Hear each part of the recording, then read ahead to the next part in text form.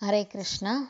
எனது ஆன்மீக குருவான ஜெயபதாக சுவாமிக்கும் எனது சிக்ஷா குருவிற்கும் எனது பணிவும் மரியாதையும் கலந்த வணக்கங்களை அவர்களது மலர் பாதங்களில் சமர்ப்பிக்கிறேன்.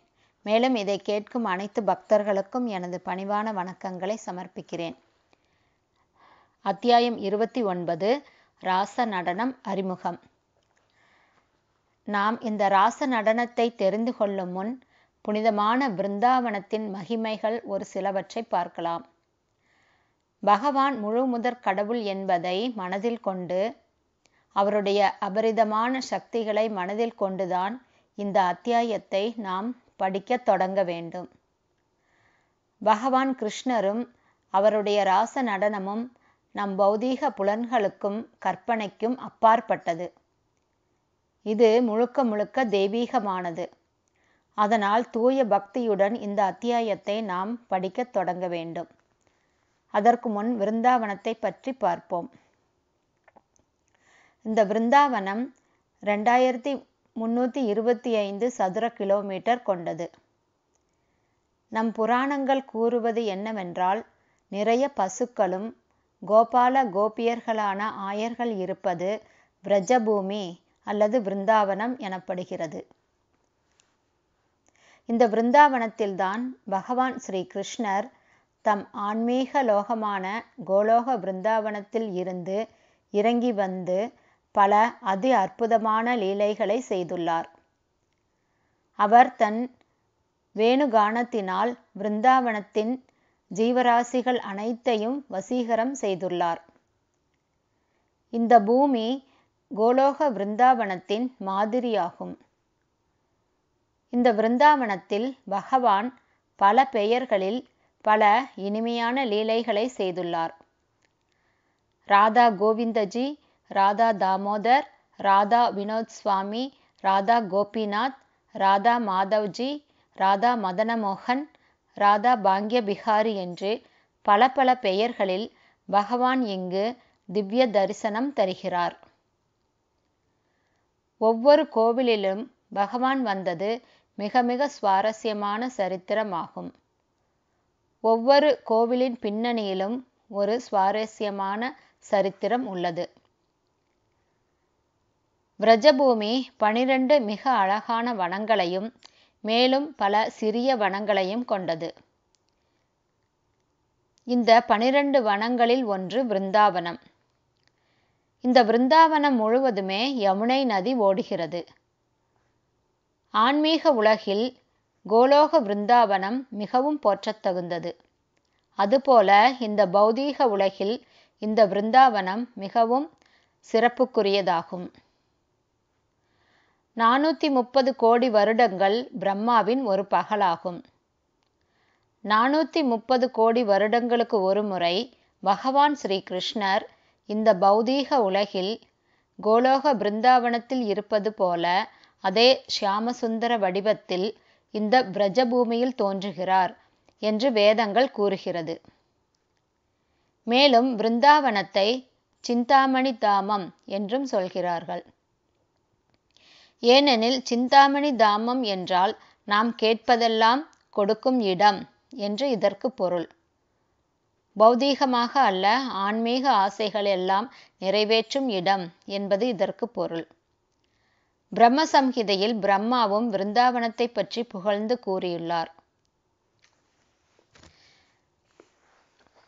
இந்த பிரஜபூமியான உயர்ந்த விருந்தாவனத்தில் உள்ள மரம் செடி கொடிகள் விலங்குகள் பறவைகள் எல்லாமே தெய்வீகமானவை. இந்த பூமியே ஆன்மீக லோகத்தில் காணப்படும் விலைமதிப்பில்லாத சிந்தாமணி கற்களால் ஆனது. இங்குள்ள சுரபி பசுக்கள் அமிர்தமான பாலை தரக்கூடியது. யமுனையின் நீர் அமிர்தம் போல இருக்கும். இதெல்லாமே வேதத்தில் பிருந்தாவன தாமத்தை பற்றி விளக்கியுள்ளது. ஆனால் இப்போது நாம் சாதாரணமாக பார்க்கும்போது எல்லா கிராமத்தைப் போலத்தான் இது மிக சாதாரணமாக உள்ளது. ஏனெனில் நம் பௌதீக கண்களுக்கு பிருந்தாவனத்தின் தெய்வீகமான அழகு தெரியாது. தூய பக்தர்களால் மட்டுமே பிருந்தாவனம் முழுவதும் விலைமதிப்பில்லாத இரத்தினக் கற்கள் இறைந்து கிடப்பதையும் தினமும் ராதையும் கிருஷ்ணரும் கோபிகைகளும் வந்து மகிழ்ச்சியுடன் ஆடி பாடுவதையும் பார்க்க முடியும். இந்த தெய்வீக லீலைகள் நடந்த இடத்தை காண நாம் தூய பக்தர்களுடன் தான் வர வேண்டும். இல்லாவிட்டால் இதன் மகத்துவம் நமக்கு புரியாது. பிருந்தாவனத்தில் பகவான் யமுனை நதியின் கரையில் இருந்து காளியனை வதம் செய்ய ஏறிய கதம்ப மரம் இன்றும் உள்ளது. பிருந்தாவனத்தில் இருந்து ஒரு மணி நேர பஸ் பயணத்தில் பர்சானா என்னும் இடம் உள்ளது. ஸ்ரீமதி ராதாராணி தன் தாய் தந்தையுடன் வசித்த அரண்மனை ஆகும். மேலும் இங்கு மோர்குட்டீர் என்று ஒரு இடம் உள்ளது. ஒரு முதியவர் தூய பக்தர் கண் பார்வை இல்லாதவர் ராதாகிருஷ்ணரை காண அறுபத்தைந்து வருடங்கள் தவம் செய்து அதன் பின்னர் ராதாகிருஷ்ணரின் தரிசனத்தை பெற்று அவர்களின் நாட்டியத்தையும் கண்டு அதை ஓவியமாகவும் வரைந்துள்ளார். இன்றும் அந்த அழகான ஓவியம் இங்குள்ளது. மேலும் ஸ்ரீ கிருஷ்ணரின் தூய பக்தையான துளசி தேவிக்கு ஒரு இடம் உள்ளது. அது விருந்தாகுண்ட் ஆகும். துளசி தேவிக்கு இங்கு கோவில் உள்ளது. யமுனை நதியின் அருகில் நாவல் ராவல் என்ற கிராமம் உள்ளது. ஒரு நாள் நந்த மகாராஜா யமுனையில் குளிக்கும்போதுதான் தாமரை மலரில் ராதாராணியை கண்டு ராதையை எடுத்து வந்தார். இங்கு ராதை அழகாக தவழும் குழந்தையாக கோவில் கொண்டுள்ளாள். மேலும் இங்கு தாய் யசோதைக்கு தன் திருவாயை திறந்து அண்ட சராசரங்களை காட்டிய பிரம்மாண்ட காட் என்னும் இடம் உள்ளது. பகவான் ஸ்ரீ கிருஷ்ணர் எல்லா புண்ணிய நதிகளையும் வரவழைத்த ஷியாமகுண்ட் என்ற ஏரியும் ராதாராணி தன் வளையல்களால் எல்லா நதிகளையும் வரவழைத்த ராதா குண்ட் என்ற ஏரியும் உள்ளது. ராதையும் கிருஷ்ணரும் கோபிகைகளும் தினமும் வந்து இரவில் ஆடிப்பாடுவதாக இங்கு இங்குள்ள மக்கள் கூறுகிறார்கள். குறிப்பிட்ட இடத்தில் ஆறு மணிக்கு மேல் பறவைகள் விலங்குகள் மனிதர்கள் என்று யாருமே இருப்பதில்லை. இந்த திவ்யமான விருந்தாவனத்தை காண நாம் தூய பக்தர்களுடன் போக வேண்டும். அப்பொழுதுதான் விருந்தாவனத்தின் ஒவ்வொரு இடத்தையும் நாம் ரசித்து அதன் மகிமைகளை நம்மால் புரிந்து கொள்ள முடியும். பகவானுடைய உன்னதமான சக்தியை நாம் மனதில் கொண்டு இந்த ராச நடனத்தை படிக்க துவங்க வேண்டும். ஹரே கிருஷ்ணா. அத்தியாயம் இருபத்தி ஒன்பது. ராச நடனம் அறிமுகம். சரத் பருவத்தின் பௌர்ணமி இரவில் ராச நடனம் நடை நடைபெற்றதாக ஸ்ரீமத் பாகவதத்தில் கூறப்பட்டுள்ளது. முந்தைய அத்தியாயங்களில் இருந்து கோவர்த்தன பூஜை கார்த்திகை மாதத்தின் கிருஷ்ணபட்சத்தை அடுத்தும் அதன் பிறகு பிராருத் விதியா என்ற சடங்கும் நடைபெற்றதாக தெரிகிறது. அதன்பின் இந்திரனின் கோபத்தால் பெருமழையும் புயலும் ஏற்பட்டு கிருஷ்ணர் ஏழு நாட்களுக்கு நவமி வரை கோவர்த்தனகிரியை உயர்த்தி பிடித்தார். தசமியன்று பிருந்தாவனவாசிகள் கிருஷ்ணரின் வியத்தகு செயல்களைப் பற்றி பேசிக்கொண்டார்கள். மறுநாள் நந்த மகாராஜா ஏகாதசி விரதம் அனுஷ்டித்தார். மறுநாள் துவாதசியன்று நந்தர் கங்கையில் நீராடச் சென்று வருணதேவனால் பிடிக்கப்பட்டு கிருஷ்ணரால் விடுவிக்கப்பட்டார். பின்னர் அவர் நந்த மகாராஜாவுக்கும் ஆயர்களுக்கும் ஆன்மீக ஆகாயத்தை காண்பித்தார். இவ்வாறாக சரத்கால பௌர்ணமி இரவு நிறைவு பெற்றது. ஆஸ்வின மாதத்தின் பௌர்ணமி இரவு சரத் பூர்ணிமா எனப்படும். ஸ்ரீமத் பாகவதத்தின்படி கிருஷ்ணர் கோபியருடன் ராச நடனம் நிகழ்த்துவதற்கு அடுத்த சரத் பூர்ணிமா வரும் வரை ஓராண்டு காலம் காத்திருக்க வேண்டியதாயிற்று. ஒரு நாட்டியக்காரர் பல நாட்டிய நங்கையரின் மத்தியில் நடனமாடுவது ராச நடனம் எனப்படும். இது வேத இலக்கியங்களிலிருந்து நமக்கு தெரிய வருகிறது. சரத்காலத்தின் பௌர்ணமி இரவன்று கிருஷ்ணர் அந்த ருதுவில் மலரும் மலர்களால் முக்கியமாக நறுமணம் மிக்க மல்லிகை மலர்களால் அலங்கரித்து கொண்டார். கோபியர்கள் தாம் கிருஷ்ணரை கணவராக அடைய வேண்டும் என்று காத்யாயினி தேவியை வழிபட்டது அவரது நினைவிற்கு வந்தது. சரத்கால பௌர்ணமி நிலவு நடனத்திற்கு மிகவும் சிறந்ததென பகவான் கருதினார். அப்போது கிருஷ்ணரை கணவராக அடைய வேண்டும் என கோபியர்கள் விரும்பியது நிறைவேறும். இந்த சந்தர்ப்பத்தில் ஸ்ரீமத் பாகவதத்தில் பகவான் அபி என்ற சொற்கள் பயன்படுத்தப்பட்டுள்ளன. முழுமுதற் கடவுளான கிருஷ்ணர் எந்த விருப்பத்தையும் கொண்டவர் அல்ல. ஏனெனில் அவர் ஆறு சிறப்புகளும் நிரம்ப பெற்றவர் என்பது இதன் பொருள். எனினும் அவர் கோபியருடன் சேர்ந்து நடனமாட விரும்பினார். பகவான் அபி என்பதிலிருந்து இது யுவர்களும் யுவதியரும் சேர்ந்தாடும் பௌதீகமான சாதாரண நடனம் அல்ல என்பது தெளிவாக தெரிகிறது. இது பற்றி ஸ்ரீமத் பாகவதம் உபயோகிக்கும் தனிப்பட்ட சொற்கள் என்னவென்றால் யோகமாயாம் உபாச்ரித அதாவது ஸ்ரீகிருஷ்ணர் கோபியரோடு நடனமாடியது யோக மாயையை சார்ந்தது. அதாவது ஆன்மீகமானது மகாமாயை அல்ல. ஜடவுலகில் யுவர்களும் யுவதிகளும் சேர்ந்து நடனமாடுவது புறசக்தியாகிய மகாமாயையை சார்ந்தது. கோபியருடன் ஸ்ரீகிருஷ்ணர் நிகழ்த்தும் ராச நடனம் யோக மாயையின் தளத்தில் நடைபெறுகிறது. இரண்டு இரண்டுக்கும் மிகப்பெரிய வித்தியாசம் உள்ளது. யோக மாயைக்கும் மகா மாயைக்கும் உள்ள வித்தியாசம் சைத்தன்ய சரிதாமிரதத்தில் தங்கத்துக்கும் இரும்புக்கும் உள்ள வித்தியாசத்தை போன்றதென்று கூறப்பட்டுள்ளது. உலோகங்கள் என்ற வகையில் தங்கமும் இரும்பும் உலோகங்களே. ஆனால் இரண்டின் தன்மைகளும் வேறானவை. அதுபோல ராச நடனமும் கிருஷ்ண கோபியர் உறவும் சாதாரண யுவர்களும் யுவதிகளும் சேர்ந்தாடுவதை போன்றதாக தோன்றினாலும் தன்மையில் இந்த இரண்டும் முற்றிலும் வேறுபட்டவை. இந்த வேறுபாட்டை வைஷ்ணவர்கள் சரியாக புரிந்து கொண்டிருக்கிறார்கள். ஏனென்றால் கிருஷ்ணரின் திவ்யமான அன்புக்கும் காமத்துக்குமுள்ள வித்தியாசத்தை அவர்கள் புரிந்து கொண்டவர்கள். மகாமாயையின் தளத்தில் நடனங்கள் புலனின்பம் பெறுவதற்காக ஏற்பட்டுள்ளன. ஆனால் ஸ்ரீ கிருஷ்ணர் புல்லாங்குழலை இசைத்து கோபியரை அழைத்ததும் ராசநடனம் நிகழவிருந்த இடத்திற்கு அவர்கள் கிருஷ்ணரை திருப்திப்படுத்தும் உன்னதமான விருப்பத்துடன் விரைந்து வந்தார்கள்.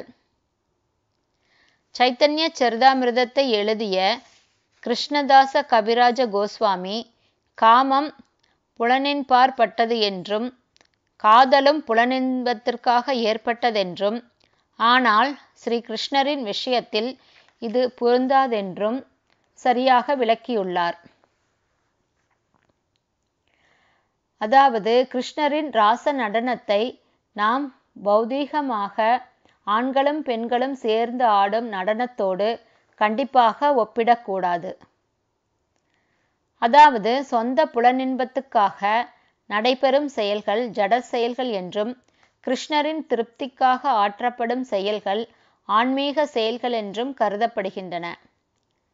எந்த தளத்தில் நடைபெறும் செயலிலும் புலன் திருப்தி இடம்பெறுகிறது ஆனால் ஆன்மீக தளத்தில் புலன் திருப்தியானது முழு முதற் கடவுளான கிருஷ்ணருக்காக ஏற்படுகிறது. ஜடதளத்தில் அது செயலாற்றுபவனின் திருப்திக்காக ஏற்படுகிறது. உதாரணமாக ஜடத்தளத்தில் வேலைக்காரன் எஜமானரின் புலன் திருப்திக்காக இல்லாமல் தன்னுடைய சொந்த புலன் திருப்திக்காக செயல்படுகிறான். வேலைக்கான ஊதியம் நிறுத்தப்பட்டு விட்டால் வேலைக்காரன் எஜமானனுக்கு வேலை செய்ய மாட்டான். அதாவது எஜமானனுக்கு வேலை செய்பவன் தன் சொந்த புலன் திருப்திக்காக செயல்படுகிறான். ஆன்மீக தளத்தில் சேவை செய்பவன் ஊதியமில்லாமல் பகவான் ஸ்ரீ கிருஷ்ணருக்காகவே சேவை செய்கிறான். எல்லா சூழ்நிலைகளிலும் அவன் தொடர்ந்து வேலை செய்கிறான். கிருஷ்ண உணர்வுக்கும் ஜட உணர்வுக்கும் உள்ள வித்தியாசம் இதுவே. கோபியருடன் கிருஷ்ணர் ராச நடனம் ஆடிய போது அவருக்கு வயது எட்டு. அப்போது பல கோபியருக்கு திருமணமாகி இருந்தது. அந்த நாட்களில் இந்தியாவில் பெண்களுக்கு சிறுவயதிலேயே திருமணமாகிவிடும். பனிரெண்டு வயதில் பெண்கள் குழந்தை பெற்றதும் உண்டு. இந்த நிலையில் கிருஷ்ணரை கணவராக அடைய விரும்பிய கோபியர் எல்லோரும் திருமணமானவர்கள். என்றாலும் கிருஷ்ணர் தமக்கு கணவராக கிடைப்பார் என்று அவர்கள் தொடர்ந்து நம்பிக்கொண்டிருந்தார்கள். கிருஷ்ண கோபியர் காதல் தொடர்பு பரக்கிய ரச எனப்படும். மணமான ஆணோ பெண்ணோ மற்றொரு மனைவியையோ கணவனையோ பெற விரும்புவது பரக்கிய ரச எனப்படும். உண்மையில் ஸ்ரீகிருஷ்ணர் எல்லோரின் கணவரும் ஆவார். ஏனெனில் அவரே உன்னத ஆளுநர். அவர் தமக்கு கணவனாக வாய்க்க வேண்டும் என்று கோபியர்கள் விரும்பினார்கள். ஆனால் நடைமுறையில் அவர் எல்லா கோபியரையும் மனம் செய்து செய்து கொள்வது சாத்தியமாக இருக்கவில்லை. ஆனால் கிருஷ்ணரை தம் உன்னத கணவராக அடைய வேண்டும் என்று அவர்கள் விரும்பியதால் கோபியருக்கும் கிருஷ்ணருக்கும் இடையேயான உறவு பரக்கிய ரச எனப்படும். இந்த பரக்கிய ரச ஆன்மீக ஆகாயத்திலுள்ள கோலோக பிருந்தாவனத்தில் எப்போதும் உள்ளது. ஏனெனில் ஜட உலகில் உள்ள பரக்கிய ரசத்தில் காணப்படும் மதிமயக்கம் கோலோக பிருந்தாவனத்தில் காணப்படும் பரக்கிய ரசத்தில் முற்றிலும் இல்லை. ஜட உலகில் பரக்கிய ரசம் மிகவும் வெறுக்கத்தக்கது. ஆனால் ஆன்மீக உலகில் அது கிருஷ்ணருக்கும் கோபிகளுக்கும் இடையே ஆன மகோன்னதமான உறவு. இதில் காமம் துளியும் இல்லை. அங்கு கிருஷ்ணரோடான பல்வேறு உறவுகளும் உள்ளன. எஜமானர் சேவகன் நண்பர்கள் நண்பன் பெற்றோர் குழந்தை காதலன் காதலி. இந்த ரசங்களிலெல்லாம் பரக்கிய ரசம் மிகச் சிறந்ததாக கரு கருதப்படுகிறது. ஜட உலகில் மனமான பெண்ணோ ஆணோ வேறு ஒரு ஆணையோ பெண்ணையோ விரும்புவது கண்டிக்கத்தக்கதும் வெறுக்கத்தக்கதும் ஆகும். இந்த ஜட உலகம் ஆன்மீக உலகின் திரிபடைந்த பிரதிபிம்பமாகும். இது குளக்கரையில் நிற்கும் மரத்தின் பிரதிபிம்பம். குளத்து நீரில் தெரிவதைப் போன்றது. மரத்தின் உச்சி பிரதிபிம்பத்தின் மிக கீழே உள்ள பகுதியாக இங்கு காட்சியளிக்கும். அதுபோல பரக்கிய ரசம் ஜட உலகில் பிரதிபலிக்கப்படும் போது மிகவும் வெறுக்கத்தக்கது. எனவே கிருஷ்ணர் கோபியரோடு ஆடிய ராச நடனத்தை ஜட உலகில் மக்கள் பின்பற்றும் போது அவர்கள் உன்னதமான பரக்கிய ரசத்தின் திரிபடைந்த மிகவும் வெறுக்கத்தக்க பிரதிபிம்பத்தை அனுபவிக்கிறார்கள். ஜட உலகில் இந்த உன்னதமான பரக்கிய ரசத்தை அனுபவிப்பது சாத்தியமல்ல. இந்த பரக்கிய ரசத்தை ஒருவன் தன் சொப்பனத்திலும் அல்லது கற்பனையிலும் கூட அனுபவிக்க கூடாதென்று ஸ்ரீமத் பாகவதம் எச்சரிக்கை செய்கிறது. அவ்வாறு செய்பவன் மிக கொடிய விஷத்தை அருந்துகிறான் என்று பாகவதம் எச்சரிக்கிறது. சரத் பூர்ணிமா இரவன்று கோபியருடன் ராச நடனமாட உன்னத அனுபவிப்பாளரான கிருஷ்ணர் முடிவு செய்த அதே கணத்தில் நட்சத்திரங்களின் பிரபுவான சந்திரன் தன் முழு அழகுடன் ஆகாயத்தில் தோன்றினான். பௌர்ணமிகளில் எல்லாம் மிகவும் அழகான சரத்கால பௌர்ணமி. இது பௌர்ணமிகளெல்லாம் மிகவும் அழகானது. ஆக்ராவில் உள்ள தாஜ்மஹாலின் பளிங்கு கற்களின் மீது சரத்கால பௌர்ணமி சந்திரனின் ஒளிப்பட்டு பிரதிபலிக்கும் அழகைக் கண்டு ரசிக்க வெளிநாட்டவர்கள் ஆவலுடன் வருகிறார்கள். சரத் பூர்ணிமாவின் அழகு இன்றும் சிறப்பாக ரசிக்கப்படுகிறது. பூர்ணச்சந்திரன் கிழக்கில் உதித்தபோது எங்கும் சிவப்பு நிறத்தை அள்ளித் தெளித்தது. சந்திரன் ஆகாயத்தில் மேலெழுந்து வந்தபோது ஆகாயம் முழுவதும் சிவப்பான குங்குமம் தெளிக்கப்பட்டிருந்ததைப் போல தோன்றியது. மனைவியை விட்டு பிரிந்திருந்த கணவன் வீடு திரும்பும்போது மனைவியின் முகத்தில் சிவப்பு குங்குமமிட்டு மகிழ்கிறான். அதுபோல வெகுகாலமாக எதிர்பார்க்கப்பட்டிருந்த சரத்கால பௌர்ணமி சந்திரன் உதயமானதும் கீழ்வானத்தில் குங்குமச் சிவப்பு பரவியது. சந்திரனின் வருகையால் கோபியருடன் நடனமாட வேண்டுமென்ற ஆவல் கிருஷ்ணருக்கு மேலும் அதிகரித்தது. வனத்தில் நறுமணமிக்க மலர்கள் நிறைந்திருந்தன. காற்று மண்டலம் குளிர்ந்தது. அது உவகையூட்டுவதாக இருந்தது. கிருஷ்ணர் குழலை இசைக்க துவங்கியதும் பிருந்தாவனத்திலிருந்த கோபியரெல்லாம் மந்திர சக்தியால் கட்டுண்டது போல உணர்ந்தார்கள்.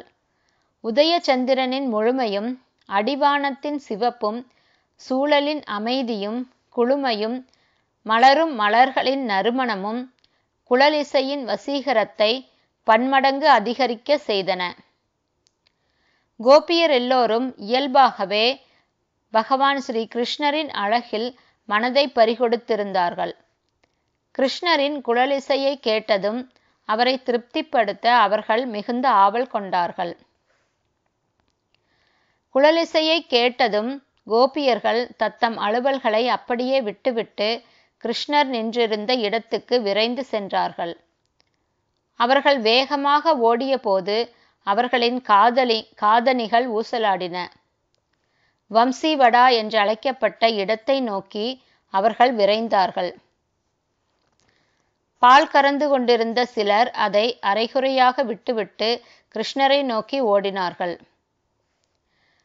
ஒருத்தி அப்போதுதான் பாலை காய்ச்சுவதற்காக அடுப்பின் மேல் வைத்திருந்தாள். ஆனால் பால் அதிகமாக காய்ந்து சிந்திவிடுமே என்ற கவலையில்லாமல் கிருஷ்ணரை காண புறப்பட்டாள். சிலர் கைக்குழந்தைக்கு பாலூட்டி கொண்டிருந்தவர்கள் குடும்பத்தினருக்கு உணவு பரிமாறி கொண்டிருந்தவர்கள் அந்தந்த அலுவல்களை கைவிட்டு கிருஷ்ணர் குழலிசைத்து கொண்டிருந்த இடத்தை நோக்கி வேகமாக சென்றார்கள். சிலர் தம் கணவர்களுக்கு உணவு படைத்து கொண்டிருந்தார்கள். சிலர் தாமே உணவருந்தி கொண்டிருந்தார்கள். ஆனால் கணவர்களை லட்சியம் செய்யாமலும் தாம் உண்ணாமலும் குழலிசை கேட்டவுடன் புறப்பட்டார்கள். சிலர் கிருஷ்ணரிடம் செல்லும் முன் தம்மை அழகு பொருள்களால் அலங்கரித்து கொண்டு நன்றாக உடை உடுத்தி செல்ல விரும்பினார்கள். ஆனால் கிருஷ்ணரை உடனே சந்திக்க வேண்டுமென்ற உத்வேகத்தில் சரிவர அலங்காரம் செய்யவோ உடையணியவோ முடியாமல் போனார்கள். அதனால் அவர்களின் முகப்பூச்சுக்கள் அரைக்குறையாகவும் வேடிக்கையாகவும் இருந்தன. கோபியரெல்லாம் அவரவர் இடத்திலிருந்து வேகமாக கிளம்பி கொண்டிருந்த போது அவர்களின் கணவர்களும் சகோதரர்களும் தந்தையரும் அவர்கள் எங்கு சென்று கொண்டிருந்தார்கள் என்பதை அறியாமல் ஆச்சரியப்பட்டார்கள். இளம் பெண்களாக இருந்ததால் அவர்கள் தங்கள் கணவர்கள் சகோதரர்கள் அல்லது தந்தையரின் பாதுகாப்பில் இருந்தார்கள். அவர்கள் எல்லோரும் கிருஷ்ணரிடம் போக வேண்டாம் என்று அந்த பெண்களை தடுத்தார்கள். ஆனால் கோபியர்கள் அதை சட்டை செய்யவில்லை. ஒருவன் ஸ்ரீ கிருஷ்ணரால் வசீகரிக்கப்பட்டு கிருஷ்ண உணர்வில் இருக்கும்போது உலக ரீதியில் கடமைகளை பற்றி அவன் கவலைப்படுவதில்லை. கிருஷ்ண உணர்வின் சக்தி அவர்களுக்கு உலக கவலைகளிலிருந்து விடுதலை பெற்று தருகிறது. ஸ்ரீல ரூபகோஸ்வாமி எழுதியுள்ள அழகிய கவிதையொன்றில் ஒரு கோபி மற்றொரு கோபிக்கு ஆலோசனை இவ்வாறு கூறுகிறாள். அன்பார்ந்த தோழியே நீ உலக ரீதியிலான தோழமையையும் உறவுகளையும் அன்பையும் அனுபவிக்க விரும்பினால் யமுனை நதிக்கரையில் நிலவொளியில் பளபளக்கும் உதடுகளில் புன்னகை தவள குழலூதும் சிறுவனான கோவிந்தனிடம் செல்ல வேண்டாம். ஏனெனில் அந்த மாய கண்ணனை கண்டுவிட்டால் உன்னால் மறுபடி மறுபடி கண்ணனை பார்க்காமல் இருக்க முடியாது. எனவே உன்னால் எனவே உன்னால் உன் உறவுகளையும் தோழமையையும் உலக ரீதியிலான அன்பையும் அனுபவிக்க முடியாமல் போய்விடும். ஸ்ரீ கிருஷ்ணரின் புன்னகை தவழும் முகத்தின் அழகில் உள்ளத்தை பறிகொடுத்தவர்கள் இக உலக இன்பங்களை பற்றி எண்ண மாட்டார்கள் என்று ஸ்ரீல ரூபகோஸ்வாமி இந்த கவிதையில் சுட்டிக்காட்டுகிறார். இது கிருஷ்ண உணர்வில் முன்னேறி இருப்பவனுக்கான அடையாளம். கிருஷ்ண உணர்வில் முன்னேறி இருப்பவன் இக உலக நடவடிக்கைகளில் மனம் கொள்ளாமல் புலனின்பங்களை தவிர்த்திருக்க வேண்டும்.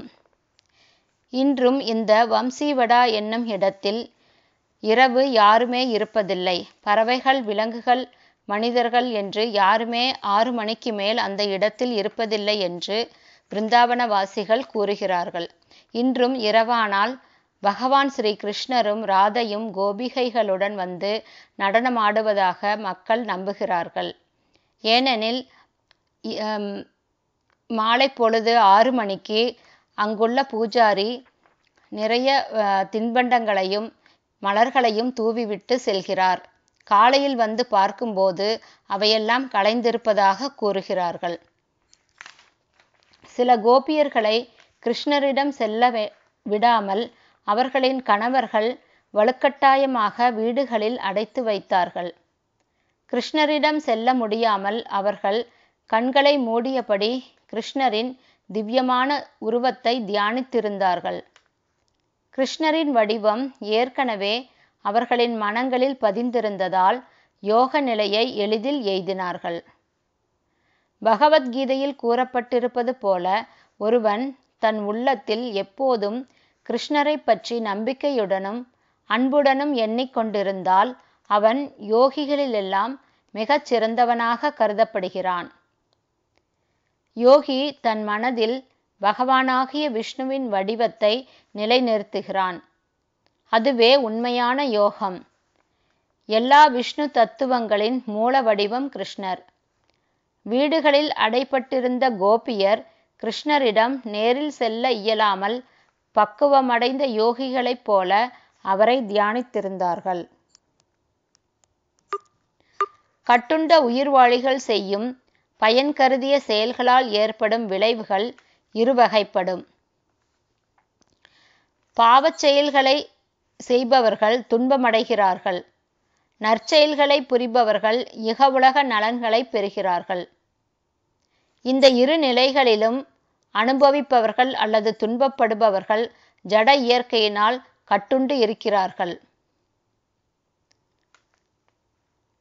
கிருஷ்ணரின் கோபி கோபியரான பக்தர்கள் கிருஷ்ணரை தேடி வருபவர்கள் பல்வேறு வகையை சேர்ந்தவர்கள்.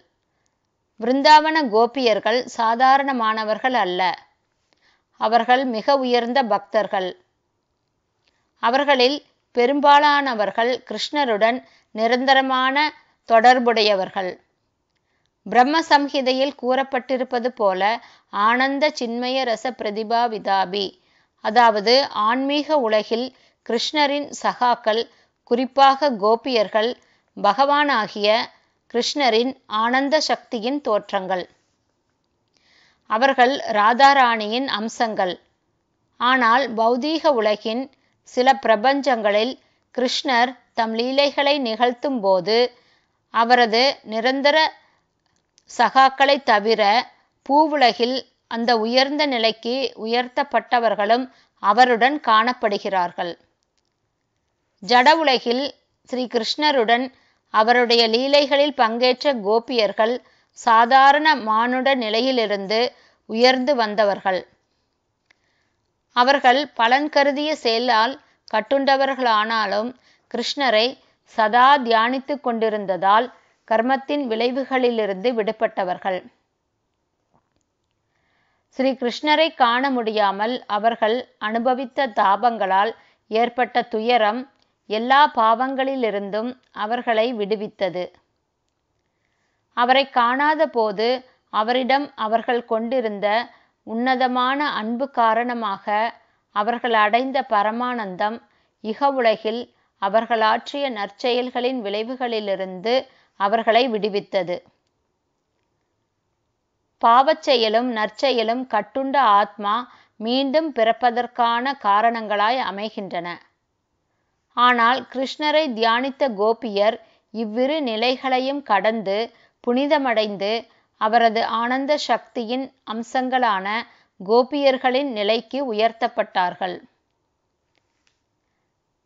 காதலராக கிருஷ்ணரை தம் மனதில் இருத்திய கோபியர்கள் ஜட இயற்கையில் அவர்கள் செய்த பலன் கருதிய செயல்களின் விளைவுகளிலிருந்து விடுபட்டிருந்தார்கள். ஜட உலக கர்மங்களின் விளைவு அவர்களை பாதிக்கவில்லை. அவர்களில் சிலர் ஜட இயற்கை ஜட இயற்கையின் முக்குணங்களினால் பெற்ற உடல்களை உடனே நீத்தார்கள்.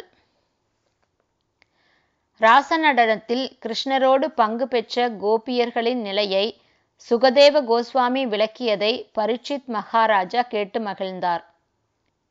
சில கோபியர்கள் கிருஷ்ணரை காதலராக மனதில் இருத்தி ஜடவுலக நிலைகளான ஜனன மரணங்களிலிருந்து விடுபட்டார்கள் என கேட்டதும் பரீட்சித் மகாராஜா இவ்வாறு கூறினார். கிருஷ்ணர் முழுமுதற் கடவுள் என்பதை கோபியர்கள் அறியவில்லை. அவர்கள் அவரை ஒரு அழகிய சிறுவனாக கருதி காதலனாக எண்ணினார்கள். எனவே அவர்கள் அவரை காதலராக ஏற்றதால் மட்டும் ஜடநிலையிலிருந்து விடுபட்டது எப்படி? என்று பரீட்சித் மகாராஜா சுகதேவ கோஸ்வாமியை கேட்டார். இங்கு கிருஷ்ணரும் சாதாரண உயிர்வாளிகளும் தன்மையில் ஒன்றானவர்கள் என்பதை நாம் நினைவில் கொள்ள வேண்டும். சாதாரண உயிர்வாளிகள் கிருஷ்ணரின் அம்சங்களாகையால் பிரம்மனும் ஆவார்கள். ஆனால் ஸ்ரீ கிருஷ்ணர் உன்னத பிரம்மன் ஆவார். இப்போது கிருஷ்ணரை தியானித்து கொண்டிருப்பதால் மட்டும் பக்தன் ஜட கர்மங்களின் விளைவுகளிலிருந்து விடுதலை பெற முடியுமானால் வேறொருவரை தியானிப்பவர்களும் ஏன் விடுதலை பெறக்கூடாது என்பது கேள்வி. ஒருவர் தன் கணவரையோ மகனையோ பற்றி எண்ணிக்கொண்டிருந்தாலும் அல்லது ஒரு உயிர்வாளி மற்றொரு உயிர்வாளியை பற்றி எண்ணிக்கொண்டிருந்தாலும் எல்லா உயிர்வாழிகளும் பிரம்மனாகையால் அவர்களும் ஏன் முக்தி பெறுவதில்லை? இது புத்திசாலித்தனமான கேள்வி. ஏனெனில் நாத்திகர்களும் கிருஷ்ணரை நகல் செய்கிறார்கள்.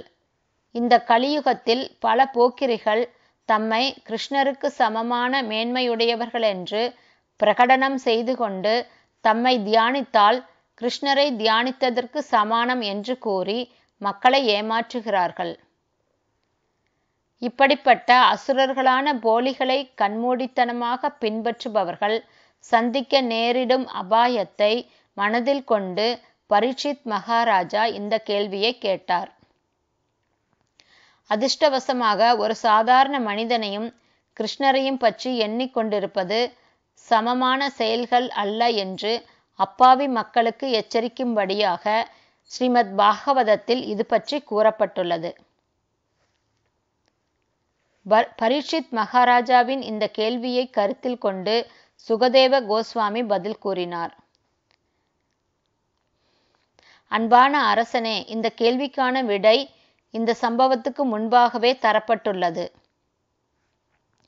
பின்னர் சுகதேவ கோஸ்வாமி சிசுபாலன் முக்தியடைந்ததை பற்றி பரீட்சித் மகாராஜாவுக்கு நினைவூட்டினார். சிசுபாலன் எப்போதும் கிருஷ்ணரிடம் பகைமை கொண்டிருந்ததால் கிருஷ்ணர் அவனை கொன்றார். கிருஷ்ணர் முழுமுதற் கடவுளாகையால் அவரை கண்டதாலேயே சிசுபாலன் முக்தியடைந்தான்.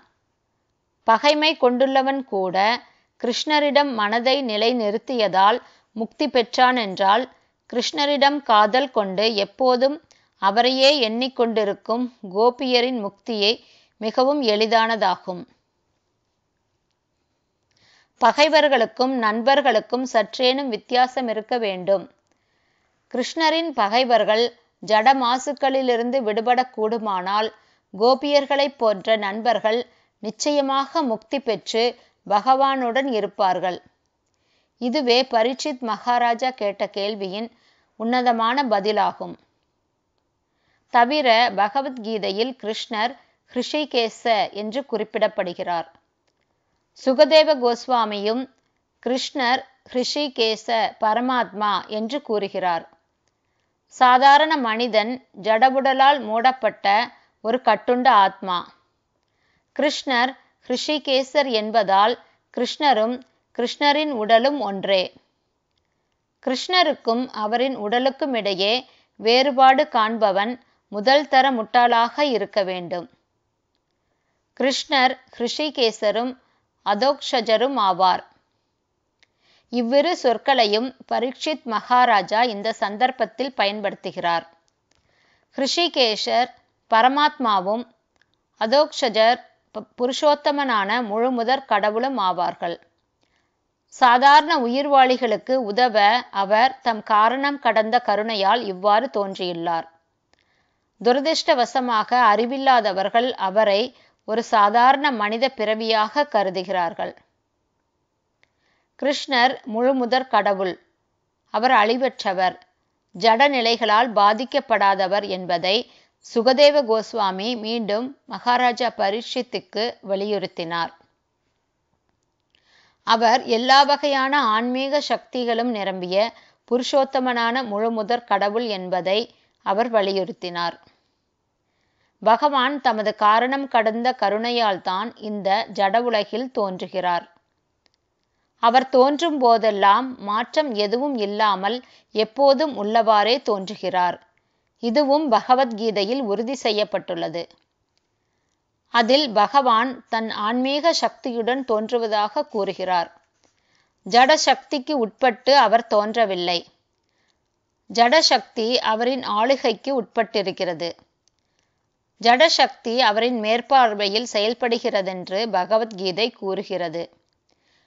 ஒருவன் கிருஷ்ணரிடமும் அவரது அழகு தன்மை செல்வம் புகழ் பலம் துறவு அல்லது அறிவு அல்லது அவரிடம் கொண்டுள்ள காமம் கோபம் பயம் பிரியம் நட்பு காரணமாக பற்றுதல் கொண்டிருந்தால் அவன் ஜட மாசுக்களிலிருந்து விடுபட்டு முக்தியடைவது திண்ணம். கிருஷ்ண உணர்வை பரப்புபவன் அதாவது பிரச்சாரம் செய்பவன் தனக்கு மிகவும் பிரியமானவன் என்று பகவத்கீதையில் பதினெட்டாம் அத்தியாயத்தில் பகவான் ஸ்ரீ கிருஷ்ணர் கூறுகிறார். பரிசுத்தமான கலப்படமற்ற கிருஷ்ண உணர்வை பரப்ப முற்படுபவன் பல இடையூறுகளை எதிர்நோக்க வேண்டியதாகிறது. சில வேளைகளில் உடற்காயங்களையும் மரணத்தையும் கூட ஏற்க நேரிடுகிறது. இதெல்லாமே ஸ்ரீ கிருஷ்ணருக்காக மேற்கொள்ளப்படும் பெரும் தவங்களாக கருதப்படுகிறது. எனவே இப்படிப்பட்டவன் தனக்கு மிகவும் பிரியமானவன் என்று பகவான் ஸ்ரீ கிருஷ்ணர் கூறுகிறார். கிருஷ்ணரிடம் மனதை செலுத்தியதால் அவரது பகைவர்களும் கூட முக்தியை எதிர்பார்க்கலாம் என்றால் அவ அவருக்கு மிகவும் பிரியமானவர்களை என்னவென்பது? கிருஷ்ண உணர்வு பிரச்சாரம் செய்பவர்கள் எந்நிலையிலும் முக்தி பெறுவது உறுதி என்பது முடிவு. ஆனால் இப்படிப்பட்ட பிரச்சாரம் செய்பவர்கள் முக்தியை பற்றி கவலைப்படுவதில்லை. கிருஷ்ண உணர்வில் ஈடுபட்டிருப்பவன் பக்தி தொண்டாற்றுபவன் முக்தி நிலையை ஏற்கனவே அடைந்தவனாகிறான். ஸ்ரீ கிருஷ்ணர் பரம யோகியாகையால் அவரிடம் பற்றுதல் கொண்டிருப்பவன் ஜடப்பிணைப்பில் இருந்து விடுதலை பெறுவான் என்ற நம்பிக்கை இருக்க வேண்டுமென்று மகாராஜா பரீட்சித்துக்கு சுகதேவ கோஸ்வாமி வலியுறுத்தினார். கோபியரெல்லாம் ஒன்று கூடிய போது முன் விவரித்தபடி கிருஷ்ணர் அவர்களை வரவேற்கும் தம் வாக்கு சாதுரியத்தால் அவர்களை மனம் தளரச் செய்தும் பேசினார் பேசினார். ஸ்ரீகிருஷ்ணர் உன்னதமான பேச்சாளர். அவர் பகவத்கீதையை கூறியவர். தத்துவம் அரசியல் பொருளாதாரம் மற்றும் எல்லா வகையான உயர்ந்த விஷயங்களை பற்றியும் உரையாட வல்லவர்.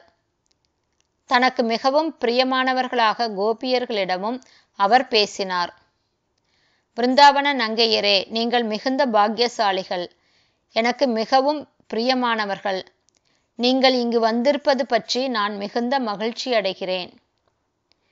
பிருந்தாவனத்தில் எல்லாம் செவ்வனே நடைபெறுகிறது என்று நம்புகிறேன்.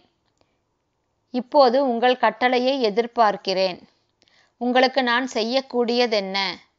நள்ளிரவில் நீங்கள் இங்கு வந்திருப்பதன் நோக்கம் என்ன? தயவு செய்து உட்கார்ந்து நான் என்ன செய்ய வேண்டும் என்பதை கூறுங்கள் என்றார் பகவான் ஸ்ரீகிருஷ்ணர்.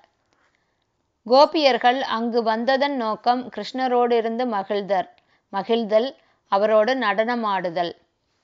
ஆனால் கிருஷ்ணர் மிகவும் சம்பிரதாயமான மரியாதைகளுடன் பேசத் தொடங்கியதும் அவர்கள் ஆச்சரியமடைந்தார்கள்.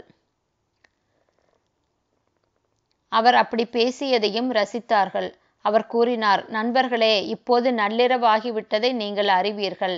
காடு மிக அபாயகரமான பிரதேசம். இந்த நேரத்தில் புலி கரடி நரி ஓனாய் போன்ற கொடிய வனவிலங்குகள் பதுங்கி திரிந்து கொண்டிருக்கும். எனவே இது உங்களுக்கு மிகவும் அபாயகரமானது. இது பத்திரமான இடம் எதுவும் இல்லை. நீங்கள் போகும் இடத்திலெல்லாம் மிருகங்கள் இறை தேடி பதுங்கி அலைவதை காண்பீர்கள். எனவே நள்ளிரவில் இங்கு வந்து பெரும் ஆபத்தை தேடிக்கொண்டிருக்கிறீர்கள். தாமதம் செய்யாமல் உடனே திரும்பி செல்லுங்கள் என்றார். அவர்களுக்கு தங்களை தாங்களே பாதுகாத்து கொள்ளும் வயது இன்னும் வரவில்லை என்பதை கிருஷ்ணர் சுட்டிக்காட்ட விரும்பினார்.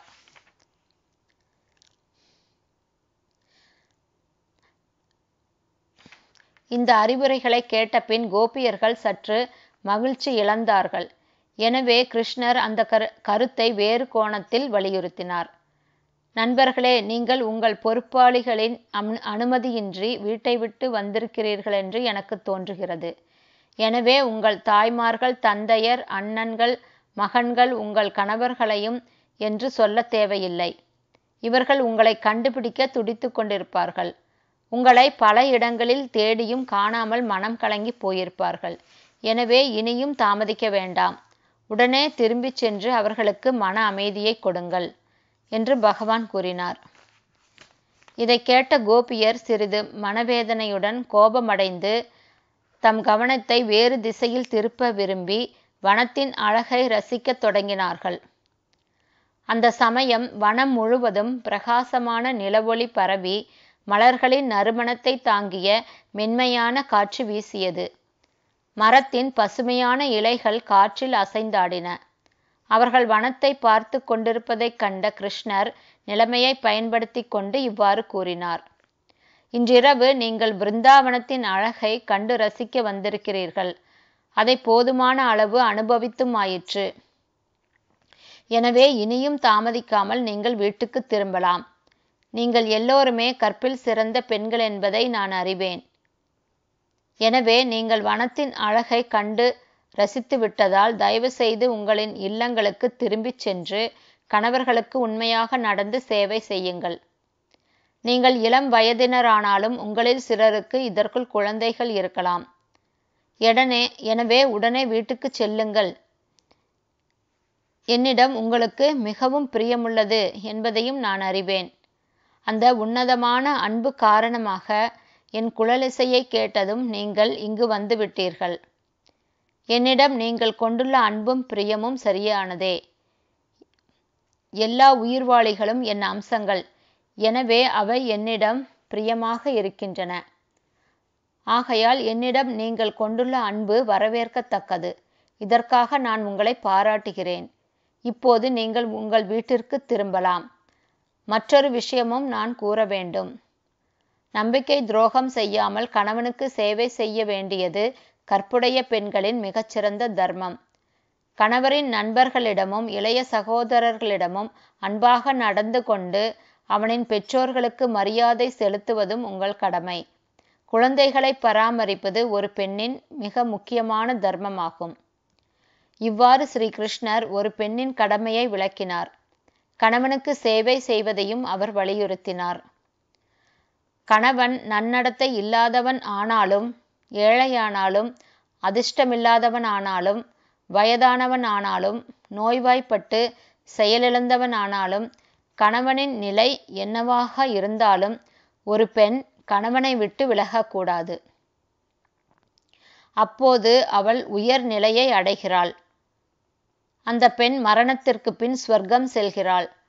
மேலும் கணவனுக்கு துரோகம் செய்து வேறு ஒருவனை தேடிச் செல்லும் பெண்ணை சமுதாயம் வெறுத்து ஒதுக்குகிறது. அத்தகைய செயல் ஒரு பெண் ஸ்வர்க்கத்தை அடைவதற்கு தடையாக இருக்கிறது.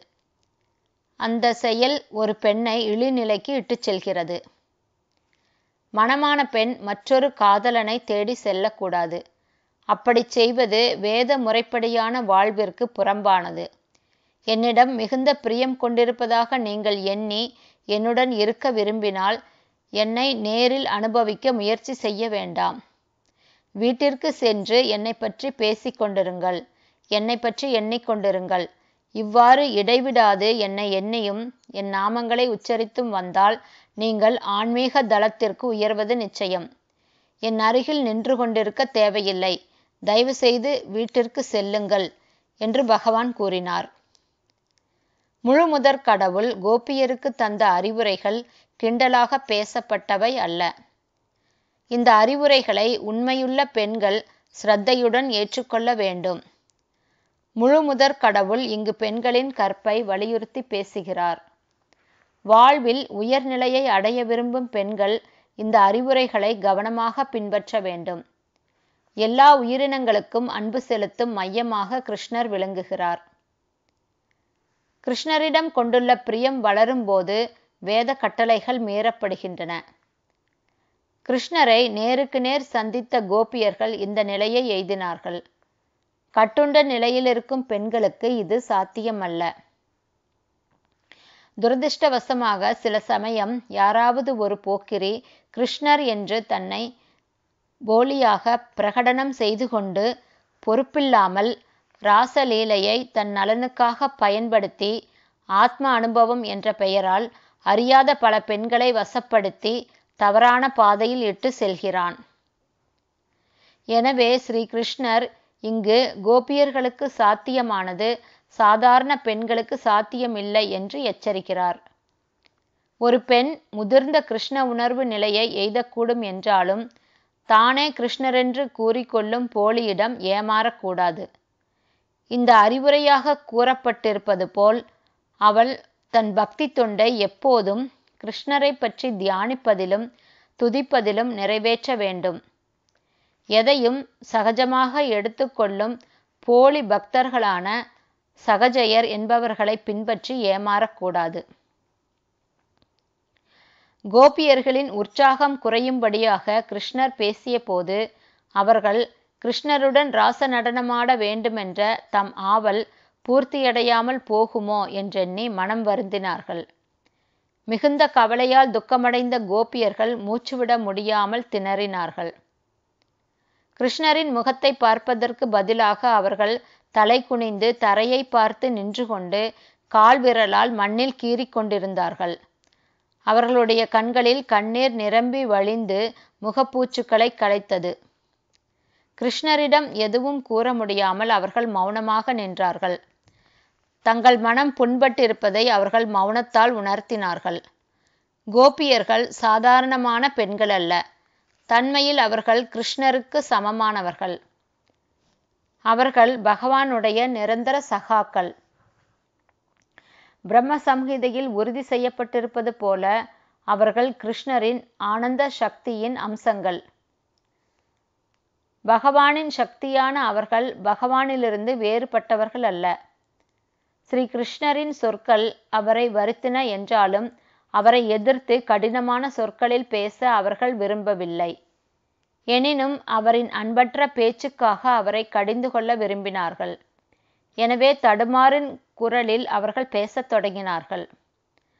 ஸ்ரீகிருஷ்ணர் அவர்களுக்கு மிகவும் பிரியமானவரும் அவர்களின் உள்ளமும் ஆத்மாவும் ஆகையால் அவருக்கு எதிராக கடும் சொற்களை பேச அவர்களுக்கு விருப்பமில்லை.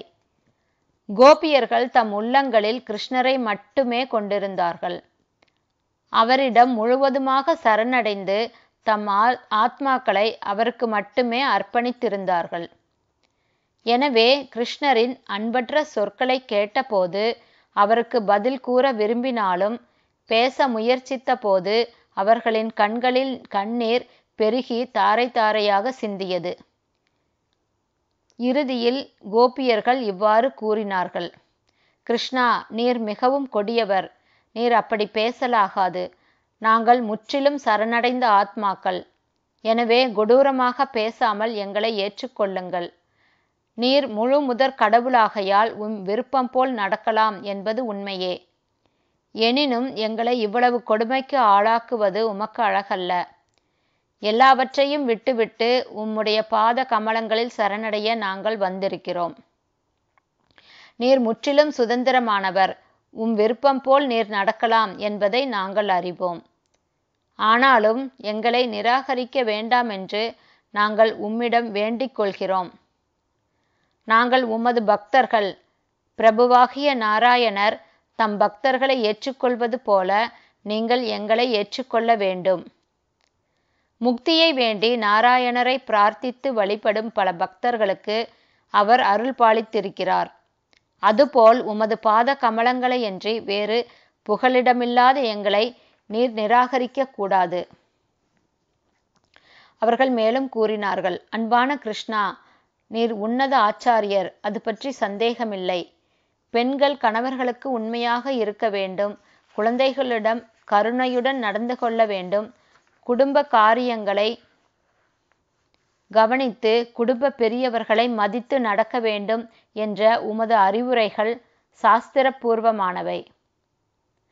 ஆனால் உமது பாத கமலங்களில் சரணடைவதன் மூலம் இந்த கொள்கைகளை முற்றிலும் பற்றி நிற்கலாம் என்பதையும் நாங்கள் அறிவோம். எங்கள் கணவர்களும் நண்பர்களும் குடும்பத்தினர்களும் குழந்தைகளும் எங்களுக்கு மிகவும் பிரியமானவர்கள் என்றால் எல்லா உயிர்வாளிகளிலும் பரமாத்மாவாக வீற்றிருக்கும் நீர் அவர்களிலும் இருப்பதுவே காரணம்.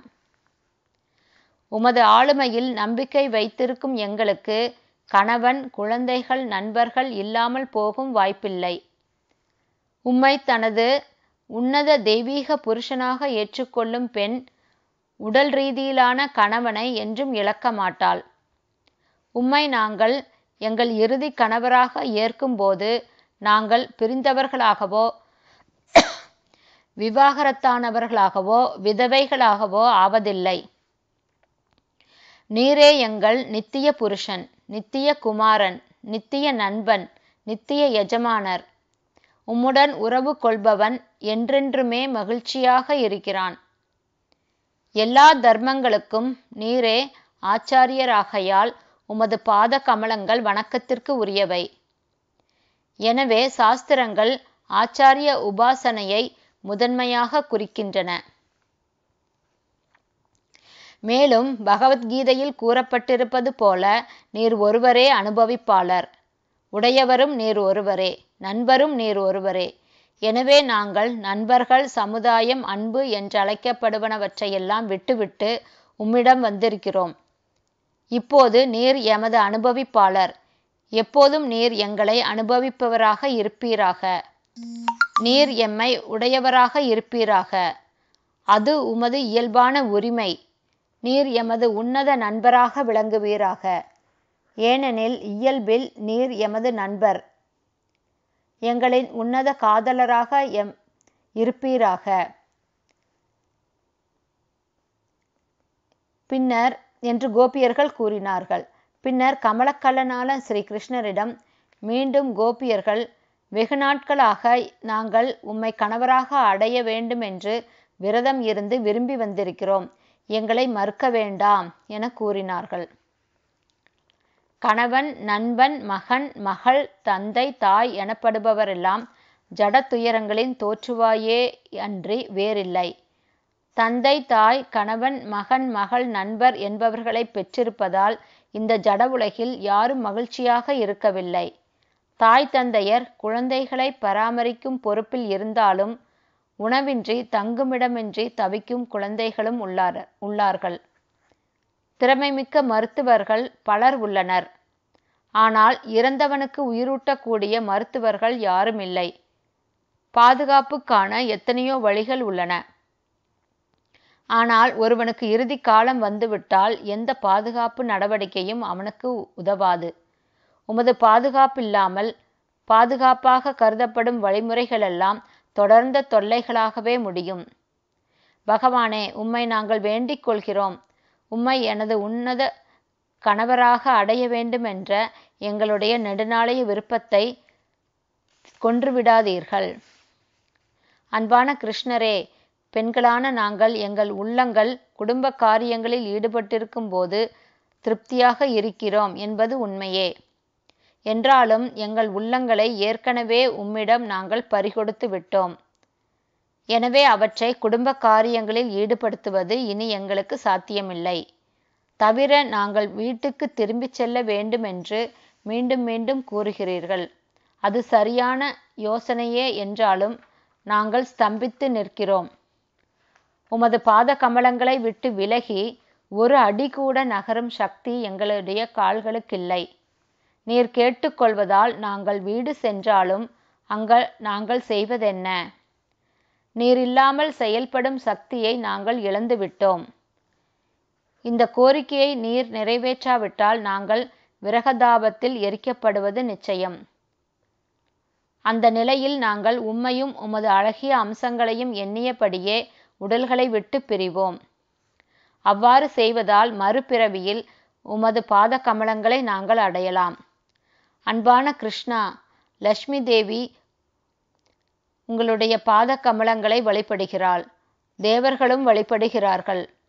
லக்ஷ்மி தேவி வைகுண்டத்தில் உமது மார்பில் என்று முறைகிறாள். எப்போதும் துளசி இலைகளால் மூடப்பட்டிருக்கும் உமது பாத கமலங்களில் சரணடைவதற்காக லட்சுமி தேவி பல விரதங்களையும் கடும் தவங்களையும் இயற்றுகிறாள். உமது சேவகர்களின் உரிய புகலிடம் உம்முடைய திருப்பாதங்கள். லட்சுமி தேவி உமது மார்பில் உறைவதற்கு பதிலாக கீழிறங்கி வந்து உமது பாதார விந்தங்களை வழிபடுகிறாள். உமது பாத கமலங்களின் தூளியில் நாங்கள் எங்களை அர்ப்பணிக்கிறோம். எங்களை நிராகரிக்க வேண்டாம். நாங்கள் உம்மிடம் முற்றிலும் சரணடைந்துள்ள ஆத்மாக்கள்.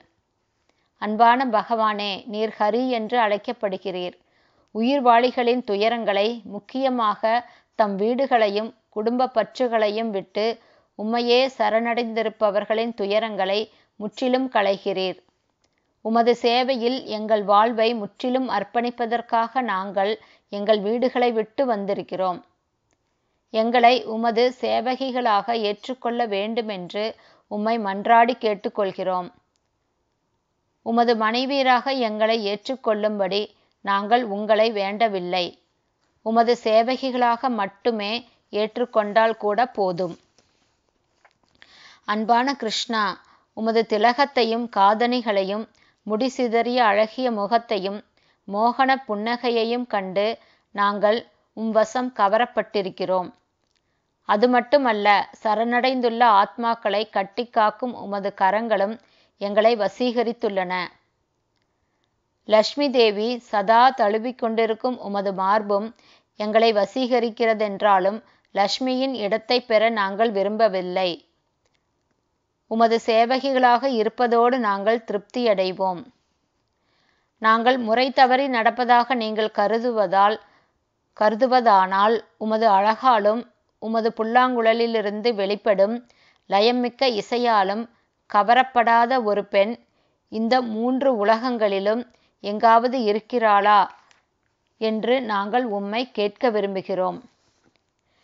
இந்த மூன்று உலகங்களிலும் உம்முடன் சம்பந்தப்பட்டவரை ஆண் பெண் என்ற பேதம் கருதப்படலாகாது.